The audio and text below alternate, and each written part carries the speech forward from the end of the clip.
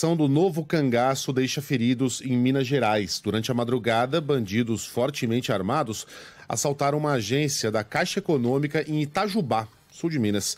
Mais informações com Tayane Ribeiro. Bom dia, Tayane. Olá, bom dia a todos. As forças de segurança estão mobilizadas em Itajubá, no sul aqui do estado, desde a madrugada, por causa desse ataque conhecido como Novo Cangaço. Criminosos com armamento pesado invadiram uma agência da Caixa Econômica Federal. Eles utilizaram explosivos na tentativa de arrombar o cofre. Essas bombas ainda estão dentro da agência e o GAT, o Grupo de Ações Táticas Especiais da PM, está se deslocando até lá para fazer o desarmamento. Esse ataque em Itajubá aconteceu na madrugada de hoje e teve troca de tiros com a Polícia Militar. A gente tem imagens dessa ação, vamos conferir.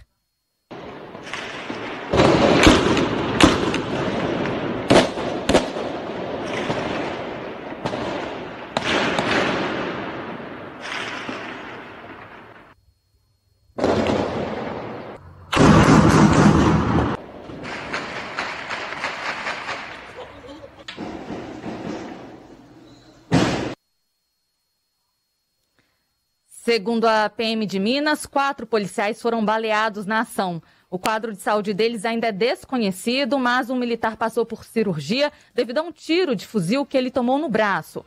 Um jovem de São José dos Campos, no interior paulista, estudante universitário, também ficou ferido nesse tiroteio. Ele foi baleado na perna esquerda, mas se recupera bem um dos suspeitos foi preso. Além dessa prisão, o que também vai ajudar na identificação dos outros bandidos é o monitoramento que existe por toda a cidade, como explica o prefeito de Itajubá, Christian Gonçalves.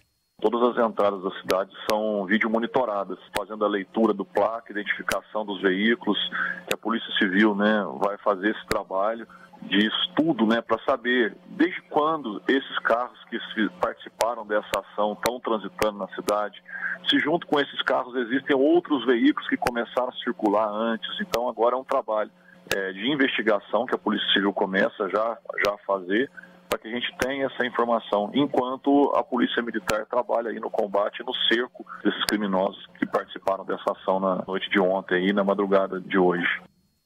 O secretário municipal de Defesa Social do município, Massoud Nassar, pediu que as pessoas fiquem em casa pelo menos até o dia amanhecer. Recomendação é que fiquem em casa até o amanhecer aí, né? E aí depois nós vamos estar soltando aí é, boletins e avisando a população o desdobramento desse confronto todo aí, né? Para que as pessoas possam com tranquilidade aí voltar às atividades normais aí do, no começo do dia. A Prefeitura de Itajubá lançou uma nota oficial nesta manhã dizendo que acompanha as investigações e que, seguindo as orientações das forças de segurança, todos os serviços públicos, como escolas, creches, postos de saúde e demais órgãos, funcionarão normalmente nesta quinta-feira. Voltando a falar da ação, os criminosos fugiram em cinco carros por dois locais. Eles se dividiram e metade do grupo empreendeu fuga pela BR-459 rumo a Pouso Alegre e a outra em direção à cidade de São Lourenço, ambas vizinhas de Itajubá. Um dos veículos usados pela quadrilha já foi encontrado em São Bento do Sapucaí, no interior paulista. Ainda não há informações se o grupo conseguiu levar algum valor da agência.